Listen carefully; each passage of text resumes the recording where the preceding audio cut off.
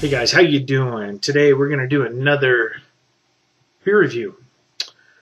Today we have Nikki's Amber. This is one that my fellow colleague and friend uh, Dan McCullough made and and put his uh, name on the on on the name of the beer. So that's pretty cool.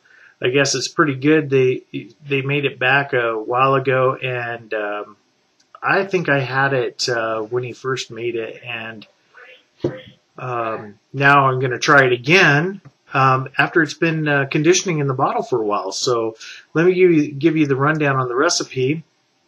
Uh, this is an all grain five gallon batch. It was a 60 minute boil. He got 75% efficiency and he used uh, 60% uh, two row US, 30% Maris Otter Pale UK, which is uh, three per, or three degree Lovibond, uh, 10% uh, Caramel Crystal 60, which is uh, 60 on the SRM. So a total of six, seven, eight, nine, ten pounds. And then the hop schedule was an ounce Cascade at 60, half ounce of Centennial at 30, and a half a Centennial at 2 minutes. He used a Wyeast American Ale 1056, which is pretty general. So, yeah, cool, man. Get that out of the way so I can see myself talking. Cool. So here we're going to go. I got myself uh, just regular uh, piney IPA type glass. This is an amber, so we're going to crack it open and see what happens. Cheers. So we got a good hiss. I see some little bit of smoky. That looks good. Oh, it's got, I remember the smell. awesome. So let's go ahead and pour her up. So it looks like I have to go a little aggressive on the pour. It is bottle conditioned, so I'm going to take my time when I get towards the end. And keep the slop in the bottle. And look there, it looks very nice. Nice brown, uh, kind of a caramel uh, copper color. It is a little hazy with it. It's probably chill haze from. Uh, it was very warm earlier today, um, and I did put it in the refrigerator for a couple hours. So, yeah, it's got a great color.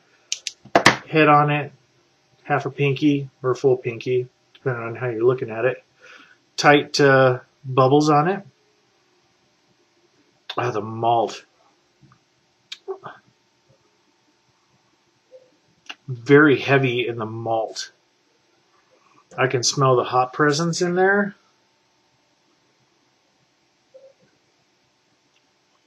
Got some uh, kind of a back fruit to it. Dark fruit.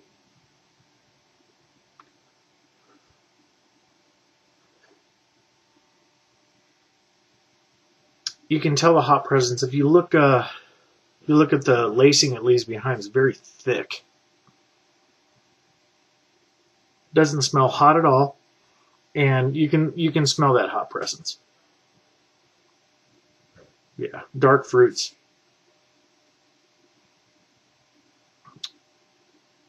Yeah.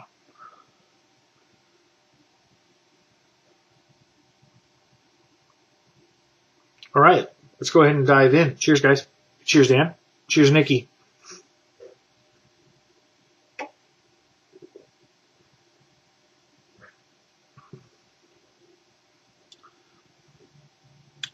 It's really mellowed. I remember tasting this before. It's got a nice, uh, nice mild bite that just kind of layers itself on the back of your tongue as you swallow it, and as it uh, matures in your mouth, as it envelops your mouth, and you get air in there, you can feel it on the sides of your tongue. Very nice malt presence throughout the mouth. I mean, it's uh,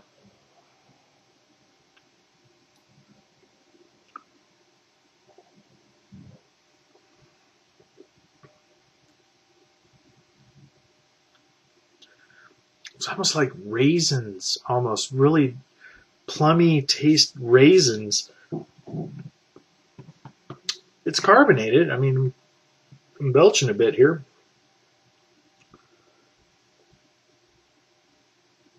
There's a there's a taste in there. I'm trying to figure it out. Hold on.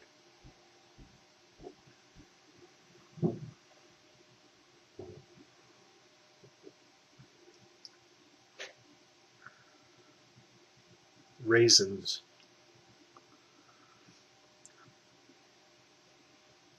Kind of a kind of a, a wood taste to it in, in a way. It's uh, it's a good taste to it. It um, complements. It's um, it, it's it's part of the hop profile, but it. Uh, trying to think of a good description for this. I'm not good at the descriptors on uh, uh, bitterness profile when it's kind of got a, a wood, kind of a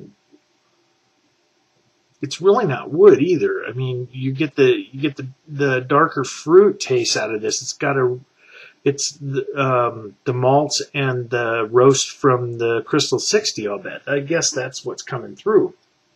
But yeah. I don't think I've ever had a bad beer from you, Dan. That's that's awesome. And yeah, Nikki, be proud of your hubby. Nikki, be proud.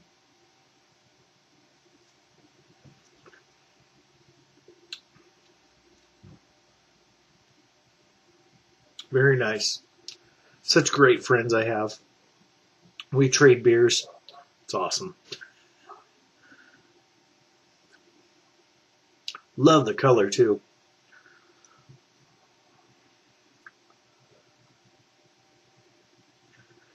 I don't even really want to rate this because you're a friend, but I didn't rate your last one. I I watched the video. I'm like, fuck, I didn't even freaking rate it. Sorry, man. Yeah, Nikki's Amber really came out. I want you to do this one again too. This came out to I think was it 5.4 percent? Let me take a look here. Uh, da, da, da. Yeah, 5.4% ABV, 187 calories per 12 ounce. Bitterness units was uh, 37.1 IBU, uh, 9.7 SRM. Uh, original gravity was 1056, and the final gravity was 1014. Yeah, this came out. This came. This came. This awesomely came out good. Awesome. Cheers, guys. Oh, I'm gonna let it warm up a little bit. I'll come back and give uh, give my final thoughts on it. Probably can hear the thunder outside. Hopefully, we can get some rain. Yeah. All right, guys. See you in a moment.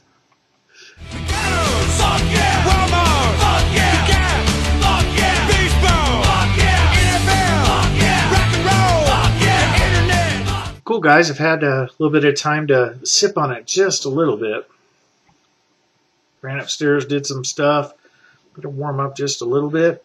Um, it's retained that that um, that malty head on it. This you know the small malty head on it.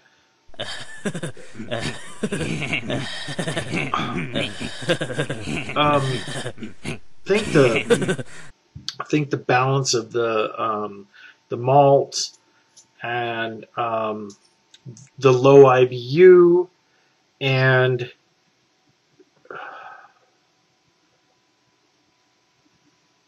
it's hard to come up with words with the when you're doing a rate. Um, not like uh, Christian Brubear. that guy can just like and it's awesome. Ta-da! Um, it uh, it is a very good beer. It's one of those beers that you can just sit down and uh, you, you, can chew on. It's not too high in the ABV, where it's still in sessionable category for me. Five point four percent is nothing for me.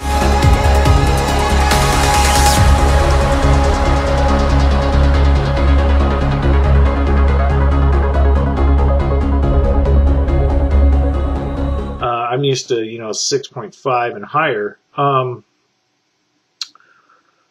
but yeah, it. Uh, uh, I absolutely love the color. I love the. I love the uh, the malt. I love the. I love the hop profile that's in here. I think the only thing that's lacking, if anything, um, would probably be just a little bit more effervescence, more uh, more carbonation. I think since Dan, you're going um, you're going to the kegging system, I think you're going to find a change in this.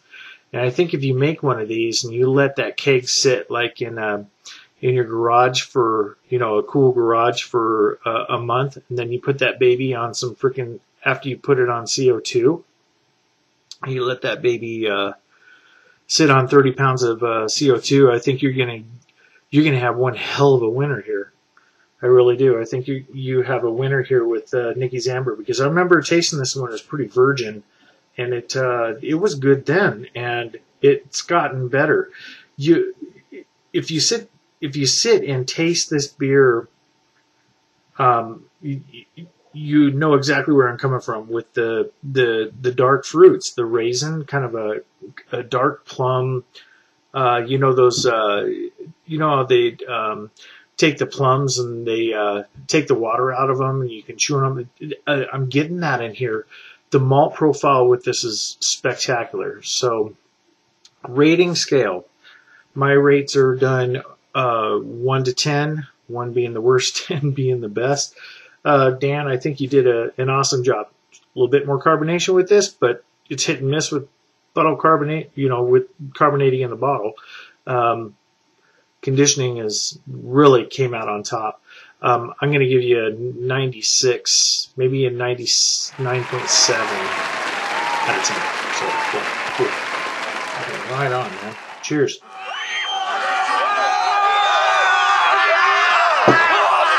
Dude, bring some more, man. I'll, uh, I'll review all your stuff. It's awesome, man. Make a name, man. Alright, guys. Remember, Keep rocking. Do what you're doing. And I will see you later on next uh, beer review. Thanks, guys. See you later.